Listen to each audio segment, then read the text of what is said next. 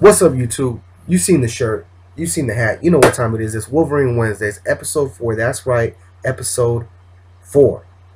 Um, you know, I have to once again before I get the video full on started. I want to give a shout out to my homie 408 Punisher 408 for hooking me up with this dope ass lighting situation. I can see I'm actually blinded right now by the light. It's too much for me, but I, I just I'm, I'm really thankful. I'm glad to have this. This is this is really awesome. So thank you again. Um, also want to give a big thank you to Eddie the comic guy once again for hooking me up for my intro screen, my, my thumbnail to my video. Uh, man, bro, thank you again. I really appreciate it. Uh, and you taking an interest in taking helping me out with my video. So, um, with anyways, without further ado, this is my weekly synopsis. I'm bringing you books seven and eight as introduced in the Wolverine title series, volume two. Uh, and once again, these are some books that I would personally love to have slab. Reason being is issue seven. This one here is actually the first appearance of Hulk in the Wolverine title series. Uh, you know, he makes his first appearance as the Gray Hulk, aka Mr. Fixit. And if you guys ain't heard of the Hulk's great alter ego, ego Mr. Joe Fixit, no worries. We'll get into that in just a bit. Unfortunately, on this issue, for some reason, we don't get uh, that Wolverine gallery, that Wolverine back cover art that I had talked to in the previous, uh, showed you guys in the previous issues. Um, we get this weird ad about Schwinn, which, I mean, a lot of the 90s books were doing that, but still, it's kind of, it's still an awesome book to get slabbed because we get this early Hulk appearance in the Wolverine title series, and, you know, if getting book slabs not your thing, I, I mean, personally, I really want to do it, but that's issue seven. Now moving on to issue eight. This is the conclusion of that Hulk appearance. Uh, again, awesome, awesome, iconic cover. We got Wolverine and Hulk uh, on the cover here, uh, both wearing tuxes. Um, and you know, for for for some reason they skipped the Wolverine gallery in the previous issue, but they did bring it back in this issue uh, with none other than super controversial artist Rob Liefeld. Um, you know, personally, there are times when I like them, and then there's times when I don't. Uh, this actual piece of artwork I like. I think it's a pretty cool Liefeld drawing. Um, like like I said, I know some people can take him or leave him. He is what he is, you guys, and for better or worse, he made the '90s a lot of what it was. So, anyways, again, another awesome book to have slab just because we got the back, you know, the wraparound, not really a wraparound cover, but a, a back cover, so you can choose to display it either which way you want. Um, someday, one of these days, I'll get that one slab. But anyways, without further ado, let's get on to the story. Uh, let's check it out. As always, you guys, you know, we got to give credit where credit is due. So let's talk about the fine team that worked on these books. First and foremost, the writer, we have Chris Claremont. The artist is John Buscema.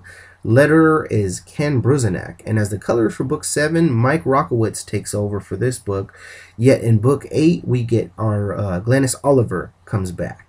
Uh, Bob Harras is the editor. And as you saw in the previous books, they were having fun with our good buddy, Mr. Tom DeFalco, and listing him as this and that. Um, this one, they have him credited as the consigliere, which actually comes from an old Italian word meaning um, meaning advisor to a crime boss. Um, and, and, that's pretty funny because uh, you know this is a term that's made famous by Martin Scorsese in the, in the in the Godfather films, and these these two sets of book kind of have a Godfather feel to them. Like uh, you know, there's dons and crimes and organized crime and stuff like that going on. So that's pretty funny. Um, and then uh, in book eight, he's he's actually billed as your tour guide. So they keep uh, having fun with the with our buddy Tom DeFalco. Issue 7, part 1 of 2 titled Mr. Fixit Comes to Town. In this book, Mr. Joe Fixit, who is the Green Hulk's gray alter ego and kind of a lightweight Vegas mafia man, he comes to Madripoor to take out the man responsible for taking out General Coy's opium fields. While Wolverine has his hands full with Hulk, the Prince of Madripoor tries to negotiate a truce between Tiger and Coy. As I said before, and I'll say it again, the splash page on this series are just killing it. Um, check out the Grey Goliath, known as Mr. Joseph Joe Fixit, in a badass two-piece oversized mafioso suit with a blue bowler and a tie to match. He has a wise guy smug look on his face. It's, it's freaking awesome, you guys. Um, Fixit's in the company of an unnamed Don who in true wise guy style, is using vague and shady yet eloquently phrased terminology to insinuate that he has a job from Mr. Fixit. This really reminds me of a scene out of The Godfather where the Don is going to make him an offer he can't refuse. Not to fix it one on the receiving end of it. Fix is more like a Luca Brasi type of character. You know, he has he has the muscle, and I mean, basically, the two agree that Fix it will do the job on behalf of the Don, and uh, let's just say he's going to check up on some of the Don's interests. Next, we cut to Madripoor, where our heroes are still very much on edge due to the cliffhanger ending we were left with in the last issue. Wolverine, the pilot Archie Corrigan, former Spider Woman Jessica Drew, uh, the top crime boss of Madripoor, Tiger Tiger, uh, previous New Mutant team member and the niece of General Coy, Karma, and the American actress slash best friend to Jessica Drew, Lindsay McCabe. They had pretty much done taking care of all of General Coy's biggest guns, including the vampire Bloodsport and the big badass Asgardian bruiser Roughhouse. Um, so they were getting ready to take care of the general himself. The Prince of Madripoor busts in the room with his armed guards spouting off that he's the one true ruler of Madripoor, and he decides who lives and dies. I love how Wolverine takes the time to think that if that's true, we won't go down alone. I'll see to that. The prince may be the ruler of Madripoor, but I'm Wolverine. Another great look into this man's psyche. Simply stated, it doesn't matter the size of the dog in the fight, but the size of the fight in the dog. You know, this man's entire history has been basically to fight against all odds. You know, and that's why he's one of my favorites. Just then, one of the oddest of things happens. The prince realizes that in this ragtag bunch of heroes is American actress Lindsay McCabe, and he gets starstruck. He confesses that he's a huge fan of Miss McCabe's, and he invites her and all of her friends to be guests in the palace. No sooner than General McCoy, or excuse me, that General Coy tries to interject that the prince should crush his enemies instead of entertaining them, the general is shut down and told to know his place. So the gang decides to take the prince for his word and stay as honored guests. Next, we cut to the desert with a female limo driver known only as Connie stopping to fuel up. She gets approached by some members of a roughneck motorcycle gang, and they do not seem to take the hint that she's not interested in them. Um, she seems to be a pretty tough chick, though, because she ends up tossing one of them on their ass. But that guy gets up and pulls a knife. Just as he's making every threat under the sun to do her harm, the Jolly Grey Giant comes out to fix the situation. He tears those guys and their bikes the F up. Back in Madripoor, Tiger Tiger is pacing in her room back and forth, wondering how she's going to get out.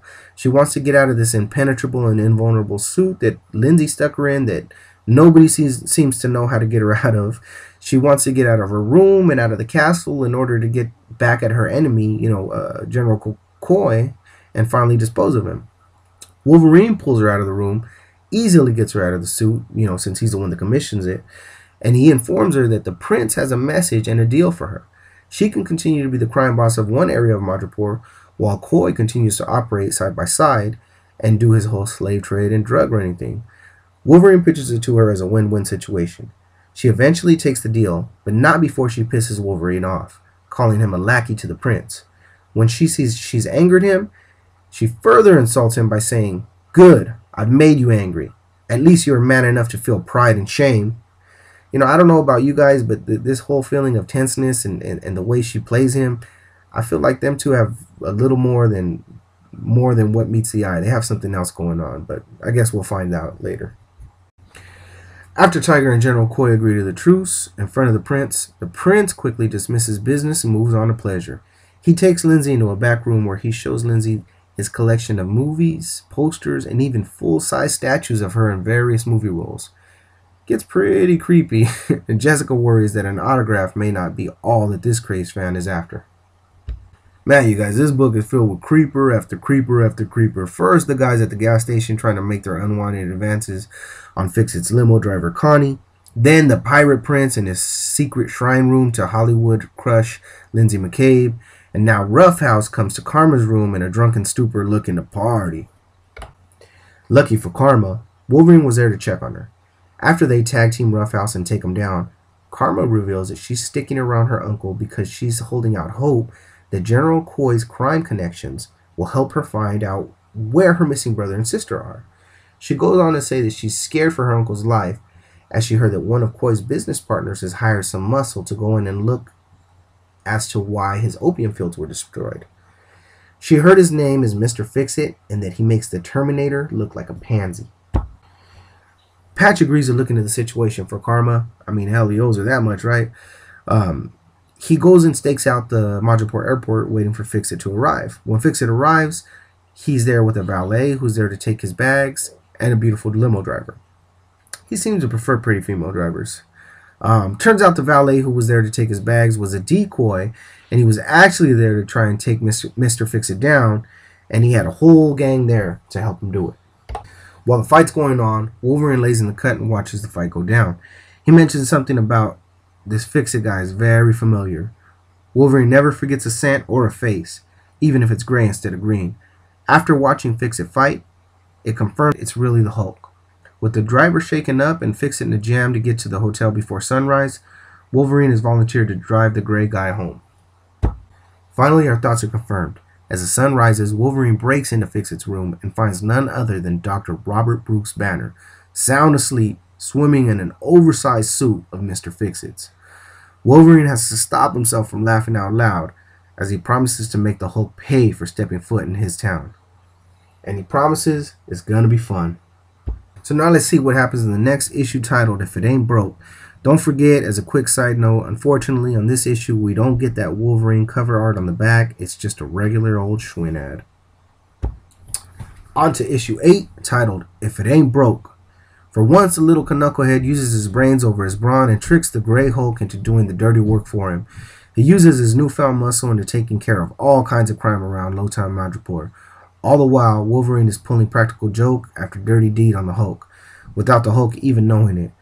Really ticks the Hulk off, but since he can't really prove Patch has done any of it, he just has to stay angry. And trust me, you guys wouldn't like him when he's angry. And honestly, you guys, this is actually a really really tough issue to, to give a synopsis about because it's really funny and it's really fun to read. So I hope you guys can get you know get your own copy of it or find a way to read it online. But you know I'll, I'll do my best to do it justice. Another great splash page featuring a soaking wet and pissed off Hulk wondering where the F are my clothes and you know Patch has something to do with it. Again, you guys, I just want to say Buscema is a beast. He's really knocking that out of the park with these splash pages. I, I'm, I'm really digging them. So soon we find out that Wolverine has stolen all of the Hulk's clothes while he was in the shower and replaced everything he owns with dozens of pairs of purple pants. I guess that's just a little inside joke to to him calling back to their first fight when the Hulk was wearing purple pants. Uh, Wolverine leaves a note stating, "We know who you are. Now get out of town." Next, we cut to the Princess Bar with a scene I originally thought was ripped right out of, off the screen of Casablanca. Even though I've never seen the movie, it just seems like something that would have been in the movie. Then the very next line on the page confirms it. In Casablanca, in the good old days, deals were cut and made in Rick's bar. In Madripoor, it's the Princess Bar. Really nice artwork, so I, I just had to throw the slide in. We get a little bit of action with the Hulk busting down the door of the Princess Bar.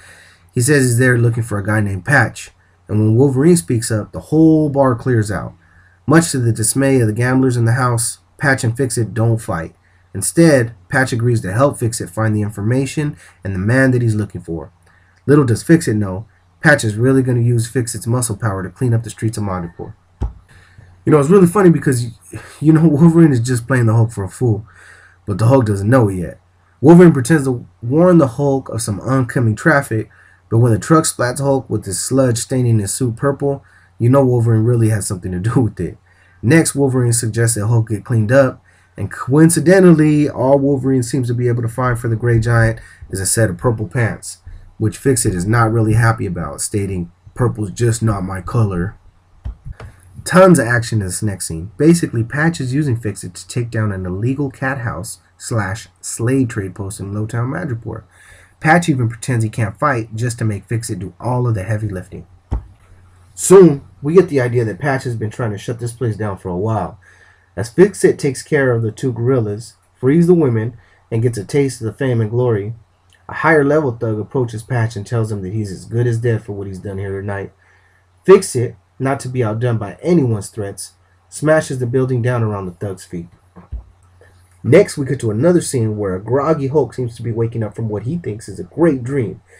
He sees beautiful women all around him, wine, plush pillows. I mean, all in all, this is the makings for a great night. But then he notices that his skin is white and not gray. So now, Patch playing on the rivalry between the Hulk and Bruce Banner has angered the Hulk to no end because Bruce Banner not only spent all day partying, now the Hulk has to pick up the tab and pay the bill. Even any time left to party because it's time to get to work. Hulk is pissed. Wolverine leads the Hulk on another wild goose chase. While the Hulk is busy trying to pump Patch for information, he questions Logan about knowing him. He feels like he's he's met him before. Of course, Logan denies it, and he tells him that the info that he's been looking for this whole time is in the temple just ahead of him. Really great dialogue here between the Great Goliath and the Wily Wolverine. I mean, there's some good jokes, there's some good banter. Um, and finally, Wolverine reveals his master plan to yet again ruin another one of Fixit's uh, suits by crashing the balcony and making Fixit fall hundreds of stories down below. We cut to a scene where another one of Madripoor's head honchos, a thug who directly reports to General Coy, is showing off the contents of his cocaine refinery. Unluckily for him, turns out that Wolverine's master plan was for the Hulk's fall to end as he comes crashing through the roof of this plant in order to break his fall. Fixit makes real quick work of the cocaine refinery and all of the armed guards. Next, he turns his sights on Wolverine, and he's pissed that he's been played for a sucker. Logan, cool and calm as a cucumber, lets Fixit know that Patch ain't the only one who's played the Hulk for a fool. Turns out that the Don from the first book was pretending to be a good guy and employ Fixit to take out Tiger Tiger. But Wolverine turned the tables and used Hulk to bring down the General Coy and his entire operation. This keeps Patch and Tiger's hands clean in the eyes of the Pirate Prince. This cripples Coy's operations and it leaves Tiger Tiger as the one and only tri- crime boss of Madripoor. Both Patch and Fixit are content with that since she doesn't really deal in drugs or the slave trade.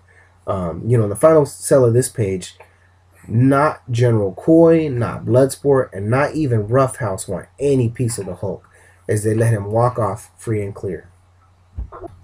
In the final two pages, we see Fixit come to terms with being Khan, but not before he gives Patch a bone crushing punch to the face. Patch mentions that Fixit didn't pull any punches, so he believes that Fixit knows that Patch is really Wolverine. Is that complicated? Did that sound weird? Anyways, um, Wolverine, however, has one last trick to play on Fixit. He switches Fixit's flight at the very last minute from a westbound flight to an eastbound flight straight into the sunrise in order to bring Banner back. And Hulk is pissed at the last minute, but it's too late because Banner's back and there's nothing the Hulk can do about it. Well, you guys, this pretty much brings the Madripoor storyline to a momentary close. While we do have some more storylines that take place in Madripoor later on, um, the next two issues will focus on Wolverine's backstory and some early origins. Uh, but we get this final, last, wonderful look at the Wolverine gallery that we missed in issue 7 but came back to us in issue 8 uh, with art by Rob Liefeld on the back cover. Um, so anyways, with that being said, you guys, this will bring uh, episode 4 to a close. Thanks for sticking with me. And as always, until I see you guys next time, keep stacking hella comics.